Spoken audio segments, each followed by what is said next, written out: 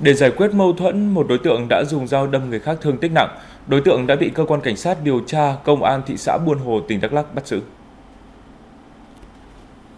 Đó là nguyễn duy trung, chú tại thị xã buôn hồ. Theo điều tra, em trai của trung có mang một điện thoại di động cầm cố cho anh cao dũng trí nhưng quên không tháo sim nên trung tìm trí đòi lại sim điện thoại.